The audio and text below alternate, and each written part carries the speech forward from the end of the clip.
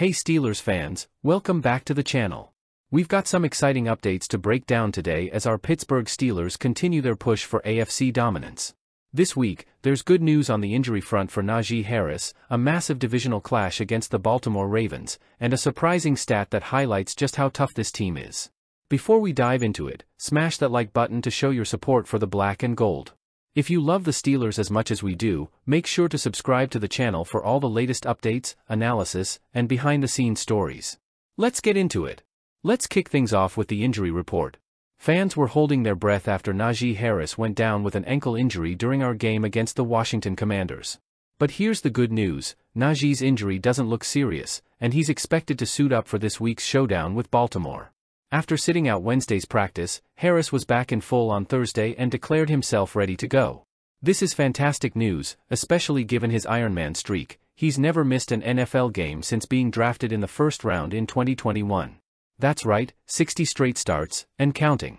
Harris has been on fire this season, averaging a career-high 71.7 rushing yards per game. He's also shown his versatility, adding 17 catches for 152 yards in the passing game. Before the injury last Sunday, Najee was well on his way to a fourth consecutive 100-yard performance, showcasing the kind of form we've been waiting for. And you know he's not going to miss an opportunity to face off against fellow Alabama alum Derrick Henry and the Ravens. While Harris is good to go, there are other injury concerns heading into this critical matchup. Backup running back Jaylen Warren missed Thursday's practice with a back issue, and tight end MyCole Pruitt continues to sit out with a knee injury. Meanwhile, cornerback Donte Jackson and wide receiver Van Jefferson were limited participants, but both are trending in the right direction for Sunday. Unfortunately, Alex Highsmith is expected to miss the game with a lingering ankle injury, which will put pressure on our defensive front to step up. Now, let's talk about a fascinating stat that's caught the attention of the NFL world. Did you know the last seven teams to play the Steelers have gone 0 to 7 in their following game? That's right, Pittsburgh doesn't just beat teams, we wear them down so much that they can't recover for the next week. This trend highlights the physicality and intensity that coach Mike Tomlin instills in this team. Even when the Steelers don't come away with a win, they take a toll on their opponents. It's the kind of gritty, smashmouth football that's become synonymous with Steelers culture. Here's an example after our Week 2 win over the Denver Broncos, they went on to lose their next game. And this streak has kept going, making us one of the toughest teams to face in the league. This level of physicality could prove crucial as the playoff race tightens. At 7-2, the Steelers are exceeding expectations this season. A lot of people wrote this team off before the year began, thinking 2024 would be a rebuilding phase. But Tomlin has once again silenced the doubters, keeping Pittsburgh competitive in every game. Now, we're heading into Week 11 with a critical matchup against the Baltimore Ravens. This game isn't just about bragging rights, it's about taking control of the AFC North and solidifying our path to the playoffs. With Kansas City, 9-0, and Buffalo, 8-2, battling for the AFC's top seed, every win counts. And don't forget, the Steelers still have a shot at the number one seed. Kansas City has a tough schedule ahead, including a showdown with Buffalo in Week 11. If the Bills can hand the Chiefs their first loss and Pittsburgh takes care of business against Baltimore, it could set the stage for the Steelers to climb to the top of the conference. This matchup against the Ravens isn't just any divisional game, it's a statement opportunity. Baltimore is one of our biggest rivals, and the AFC North standings are as tight as ever. A win this Sunday would not only give Pittsburgh a stronger grip on the division but also extend our lead over the Ravens. The Ravens are no slouch. They've got a dynamic offense led by Lamar Jackson and a defense that knows how to pressure quarterbacks. But the Steelers have proven time and again that they can rise to the occasion in big games. The key will be our ability to establish the run game with Harris and control the tempo, keeping Baltimore's offense off the field. There's something different about this year's Steelers squad. It's not just about talent, it's about heart, grit, and the will to win. This team fights until the final whistle, and that's what has kept us in the playoff conversation. One of the biggest reasons for our success is Coach Tomlin. His leadership is unmatched, and his ability to motivate players and adapt to challenges has been a driving force behind our 7-2 record. The Steelers' physicality, combined with Tomlin's strategic mindset, makes us a team that no one wants to face. Steelers Nation, the stage is set for an epic second half of the season.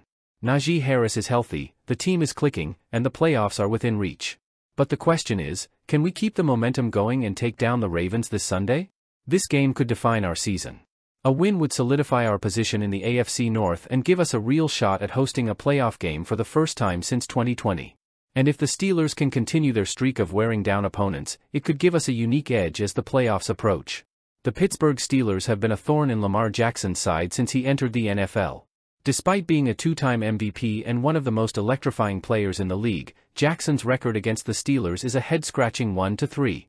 Over those four games, his stats are far from his MVP level. Four touchdowns, total. Seven interceptions. Five fumbles. A completion percentage of just 59.1%. A passer rating of 66.8. 20 sacks. What's behind these struggles? Even Jackson himself can't seem to figure it out. Speaking to the Baltimore media this week, he admitted, I don't know. It's a different team right now, but it's always the same goal. We want to win. While Jackson has faced challenges against Pittsburgh, it's worth noting that he didn't play in four of the Steelers' last seven wins over Baltimore. Still, when he's on the field, Pittsburgh seems to have his number. Let's explore why. Why the Steelers have Jackson's number. The Steelers' success against Jackson is a combination of factors. 1. Defensive pressure. In just four games, Jackson has been sacked 20 times by Pittsburgh's defense. Cam Heyward and company know how to disrupt his rhythm, forcing hurried throws and creating turnover opportunities. Heyward himself downplayed the dominance, saying, Sometimes the ball has fallen our way. He's a heck of a talent you try to bottle up, but you never can. Sometimes it's come down to just having the ball last. 2. Turnovers. Turnovers have been a killer for Jackson against Pittsburgh. His seven interceptions and five fumbles highlight the defense's ability to capitalize on mistakes. Whether it's TJ Watt crashing off the edge or Minkah Fitzpatrick lurking in coverage, the Steelers' defense thrives on creating chaos. 3. Situational football. The Steelers excel at forcing Baltimore into uncomfortable situations. From red zone interceptions to critical sacks, Pittsburgh has a knack for making game-changing plays when it matters most. Looking ahead, a tough challenge on Sunday. As we gear up for another Steelers-Ravens showdown, it's clear that this Sunday's game won't be a walk in the park. Jackson is playing at an MVP level this season. 69.1% completion rate. 2,669 passing yards. 24 touchdowns, 2 interceptions. A passer rating of 123.2. 538 rushing yards on 91 carries, 5.9 average. Baltimore's offense is firing on all cylinders, leading the league in points per game, 31.8, and rushing offense, 182.6 yards per game. With all-pro running back Derrick Henry in the backfield, the Ravens offense has reached new heights. Defensive coordinator Teryl Austin knows the challenge ahead, stating, Lamar is a two-time MVP. He's had three perfect passer ratings this year. He gets better as he gets more seasoned in the league, and that's what the great players do. The key to victory, containing Lamar and Derrick Henry. So, how can the Steelers come out on top? 1. Contain the run game. The combination of Jackson and Henry has been deadly for defenses. Henry leads the league with 1,120 rushing yards and 12 touchdowns through 10 weeks. The Steelers' front seven will need to be disciplined, plugging gaps and forcing Baltimore into obvious passing situations. 2. Pressure Jackson. As we've seen in the past, pressuring Jackson is critical. With TJ Watt and Alex Highsmith wreaking havoc, the Steelers need to collapse the pocket while maintaining lane discipline to prevent Jackson from breaking loose. 3. Win the turnover battle. The Steelers have thrived on creating turnovers in recent matchups against Baltimore. With Minkah Fitzpatrick patrolling the secondary and linebackers like Cole Holcomb stepping up, forcing Jackson into mistakes will be crucial. Sunday's game isn't just another matchup, it's a battle for AFC North supremacy. At 7-2, the Steelers are in a prime position to take control of the division. A win over the Ravens would not only solidify Pittsburgh's standing but also keep the team on track for a potential playoff run.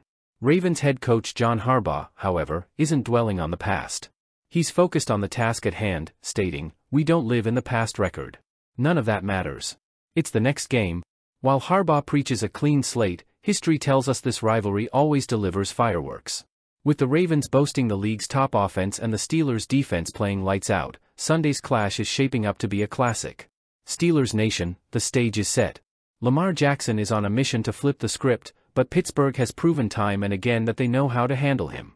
Whether it's the defense creating turnovers, the offense capitalizing on opportunities, or Mike Tomlin outcoaching Harbaugh, the Steelers have the blueprint for success. This game will be a true test of grit, determination, and execution. And with AFC North bragging rights on the line, you can bet the Steelers will leave it all on the field. Now, I want to hear from you. What do you think about Najee Harris's performance this season? Are you confident he can continue his dominance against Baltimore? And how about this 0-7 streak, do you think it's a sign of how tough the Steelers are, or just a fluke? Let us know in the comments below. And remember, if you enjoyed this breakdown, like this video to show your support. Don't forget to subscribe to the channel and hit the notification bell so you never miss a Steelers update. Thanks for tuning in, Steelers Nation. Let's get ready for a hard-fought game on Sunday, and as always, go Steelers.